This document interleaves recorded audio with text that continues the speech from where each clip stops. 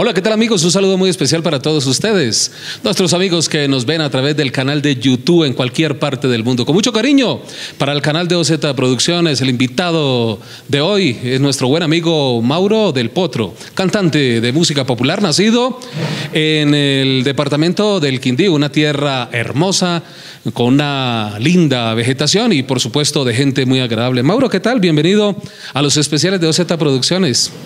Muchísimas gracias, la verdad, por la invitación. Muy orgulloso de estar acá compartiendo con usted. Qué bueno. Cantante de música popular desde chico, ya de adulto le dio por interpretar la música del pueblo, la, música de nuestros abuelos, de nuestros padres. Bueno, la verdad, pues por ser del departamento donde vengo, que es la cuna de la música popular, eh, desde muy pequeño ha nacido conmigo ese deseo de, ser intérprete de la música popular. Como tal, desde pequeño no, no canto. Ya mi carrera inició ya, ya bastante grandecito que ya decidí cómo lanzarme al estrellato. Perfecto, termina pues su primaria, su secundaria, hace algunos estudios superiores. Sí, terminé mi primaria como tal, debido pues al, a los recursos y a lo que se veía con mi familia, eh, no alcancé a terminar como tal mi bachillerato ni nada, entonces ya, ya era como enfrentar la vida, enfrentar de mirar cómo vamos a trabajar, qué vamos a hacer para seguir adelante. Perfecto, ¿qué edad tiene? Tengo 32 años. Muy bien, ¿y ya desde cuándo en la música? Ya llevo nueve años, empecé a los 21, 22 más o menos. Muy bien, ¿y a qué artista seguí o qué artista le ha llamado la atención para seguir un poco sus pasos en vocalización, interpretación, manejo de escenario? Bueno, desde mis inicios y en la casa se escuchaba mucho Darío Gómez, Luis Alberto Posada en ese entonces. Entonces se cría uno como con esos artistas. Y de ahí empecé yo, a tener como, como, como ese instinto de querer estar en la música popular y siempre guiado por estos artistas como lo ha sido Darío Gómez y Luis Alberto Posada desde sus inicios. Muy bien. ¿Y siempre vivió allá o desde cuándo en la capital colombiana? Estuve hasta la edad de siete años en, en Calarcá, Quindío, que era donde vivíamos, vivíamos en una finca, mis padres han sido administradores de fincas y esto, y estuvimos allá hasta, o sea, hasta los siete años que estuve, ahí nos regresamos para Bogotá hubo una oportunidad para acá y ellos decidieron venirse para Bogotá. Entonces prácticamente toda mi vida acá. Muy bien. ¿Y cómo le da entonces por ya meterse en el campo musical y, y decidir grabar? ¿Quién lo induce a ello? Bueno, la verdad no, nació conmigo, mis padres nunca me apoyaron, mi familia como tal nunca me apoyaron. Eh, recuerdo de niño siempre que veía a alguien por ahí tocando guitarra o cantando, siempre estaba yo metido allá, me le perdía a mi mamá y ella sabía dónde estaba porque ella sabía que a mí me encantaba la música popular. Y siempre era como con ese deseo. El transcurso que yo fui, fui creciendo, era mucho más el deseo de querer ser artista y mirar artistas donde estaban pues como cantando y haciendo cosas para yo estar allá metido y toda esta cuestión mirando videos, pero pues la verdad ellos nunca creyeron como en ese talento, nunca vieron como esa chispa en mí, entonces nunca me apoyaron. Después ya en el transcurso del tiempo que estábamos viendo acá, pues mi mamá decide separarse de mi papá, entonces ya fue muy complejo porque ya la vida fue otra. Diferente. Y bueno, en ningún momento le dicen a usted, mi hijo, pero por qué esa carrera y, ya después de un tiempo de pronto ya le dicen, bueno, ya qué vamos a hacer, pues toco apoyarlo. bueno, la verdad no, como le cuento, pues mis papás, mis padres se separaron. Llevábamos no mucho tiempo, yo ya tenía nueve años, como a los dos años más o menos, desde estar aquí en Bogotá ellos decidieron separarse como tal. Entonces yo seguía siempre con la mentalidad de que yo iba a ser cantante. Pero no, la verdad ellos nunca vieron en mí el potencial como artista, como cantante, no. Eh, ya ellos se vinieron a darse cuenta ya el transcurso del tiempo de que yo mismo me preparé muy empíricamente. Después yo decidí a los 13 años irme a vivir solo.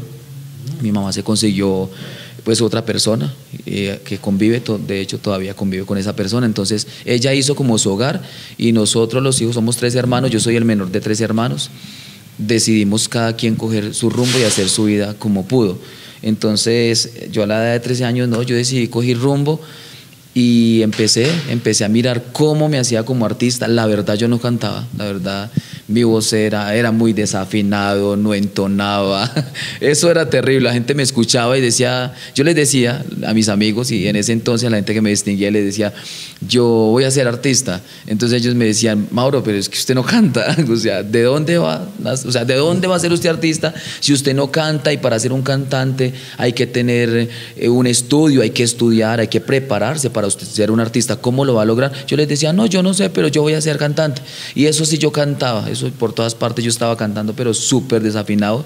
Y me recuerdo y, y, es, son, o sea, me da risa de ver en ese entonces que verdad no. Pero me preparé, creí tanto que en mi talento, siempre muy aferrado de Dios, soy una persona, no voy pues a ninguna comunidad cristiana ni nada, pero creo mucho en Dios y creo que siempre estuve aferrado a la mano de Él y le pedí a Él que me hiciera artista que me diera una de las voces que él tenía ya y me la diera a mí para yo prepararme y ser un artista.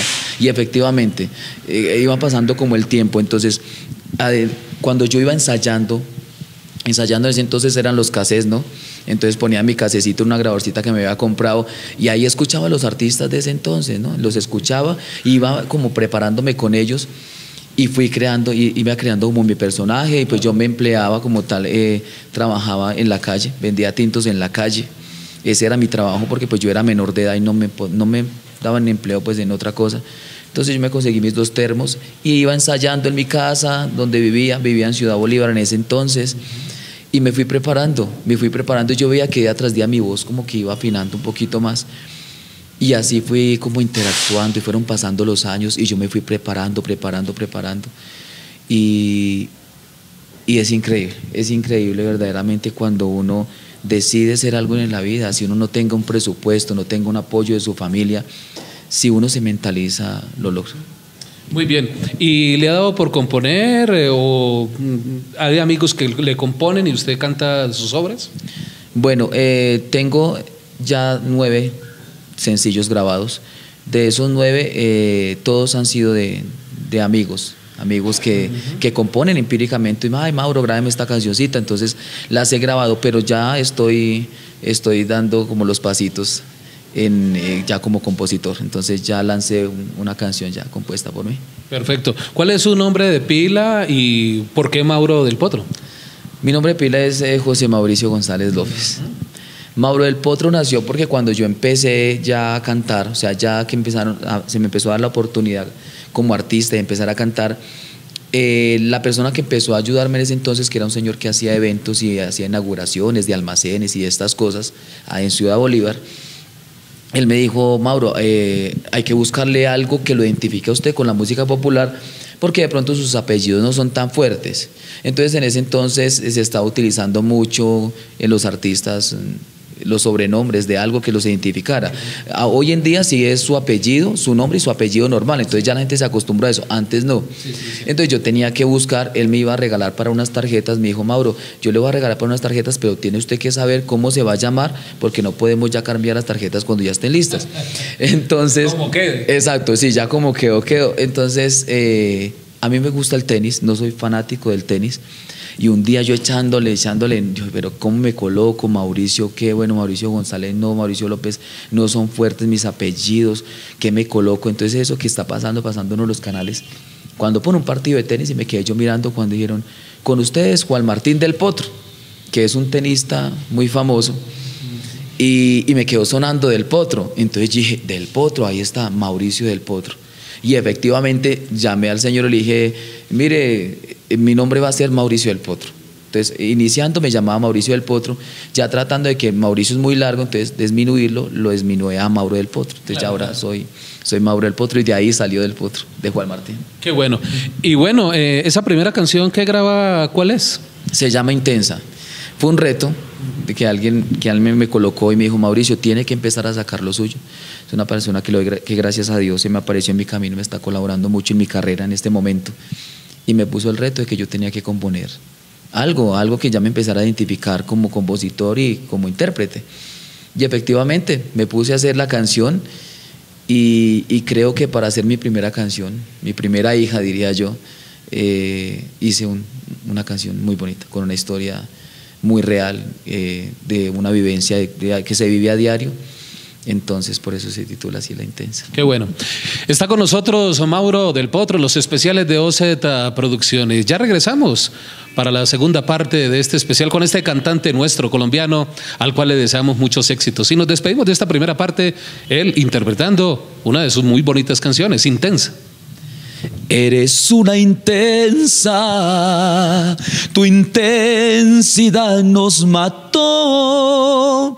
Todo lo bonito y hermoso que habíamos cultivado los dos. Y fue así, así fue. Es Mauro del Potro, ya regresamos.